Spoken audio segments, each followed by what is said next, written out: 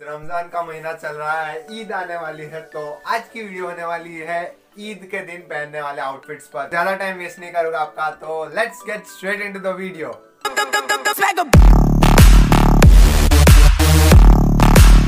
तो मेरा नाम है अलग और मैं अपने इस चैनल पर ग्रूमिंग फ़ैशन लाइफस्टाइल के रिलेटेड बात करता हूँ और कभी कभी ऐसे आउटफिट पहने, कौन सी ओकेशन पे उसके बारे में भी बात करता हूँ। तो अगर आप ऐसी कंटेंट में इंटरेस्ट है तो सब्सक्राइब कर दीजिए।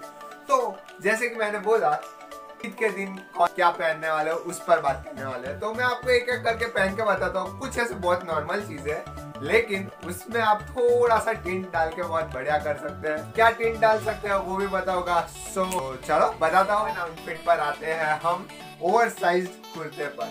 सो so, ये मैंने व्हाइट कलर का कुर्ता पहना आपने ईद के दिन बहुत लोगों को व्हाइट कुर्ते में देखा होगा। लेकिन ये वाला है ना ओवर साइज़ है मतलब आपकी साइज़ से थोड़ा बड़ा है, जो बहुत ही बढ़िया लगता है ऐसे टाइम पर। ऐसे ओकेशन पे ये एकदम एलिगेंट लगता है।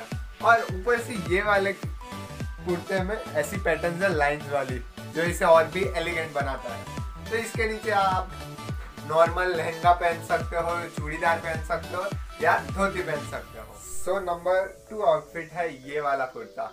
इसके अंदर ऐसे कॉलर्स पे और यहाँ बटन्स पर एम्ब्रॉयडरी की हुई है। ये भी बहुत अच्छा लगता है। इसमें आप दो बटन खुले रखोगे तो ज़्यादा अच्छा रहेगा। अब आप पूछोगे कि ये तो नॉर्मल है इसमें क्या नई बात है?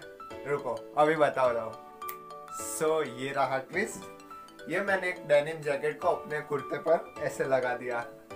तो ये भी बहुत मस्त टिप्स लगता है, बहुत बढ़िया लगता है अच्छा सा लगता है। एक और चीज़ कि आप अगर घर के बाहर नहीं जाने वाले हो मतलब घर के अंदर ही सेलिब्रेट करोगे ऑफकोर्स कोविड का टाइम चल रहा है, आप घर में ही सेलिब्रेट करोगे। तो उसी के लिए ये डेनिम जैकेट घर में चल जाता है, लेकिन घर के बाहर बहुत धूप होती है, बहुत गर्मी होती है, बहुत प्रॉब्लम दे सकता है। घर के अंदर खुश रहने के लिए एंजॉय करने के लिए ऐसे आउटफिट बहुत बढ़िया लगेगी आपकी अच्छी सी फ़ोटोज़ आएगी और नंबर और एक और आपकी बहुत बढ़िया सी picture sir number third outfit है, ये पठानी जो आपने बहुत बार पहनी होगी, लेकिन कितनी भी बार पहन ले पठाने का ट्रेंड कभी नहीं जाएगा। वो बहुत अच्छा लगता है, बहुत क्लासी लुक देता है।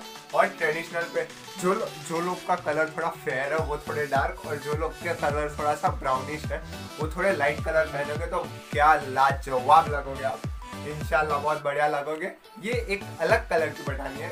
दिस इज़ बेज तो ये ना, थोड़े से ब्राउन स्किन में टोन मतलब मेरे जैसी स्किन टोन है। वैसे लोगों पर बहुत बढ़िया लगता है, बहुत क्लासिक लगता है और एकदम अलग से निखर के आता है। आपने मोस्टली पठाने के कलर देखे होंगे। ब्लैक होगा व्हाइट होगा और ज़्यादा से ज़्यादा ब्राउन होता है।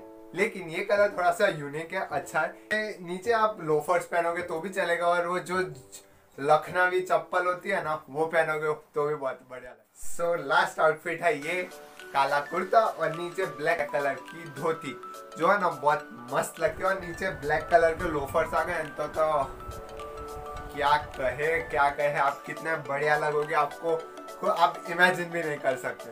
तो ये थे कुछ आउटफिट्स आप बता सकते हो कि मुझ पे कौन सा अच्छा लग रहा था और आप बता सकते हो कि आप कौन से वाले ट्राई करना चाहोगे। सो so, आज की वीडियो के लिए इतना ही। अगर आपको वीडियो अच्छी लगी है तो लाइक करिए सब्सक्राइब करिए मेरे चैनल को। ऐसी ही वीडियोस के लिए मैं आपसे फिर कभी मिलूँगा। This is what it was मिलेंगे अगली वीडियो में। Till the next time stay happy stay safe bye bye और हाँ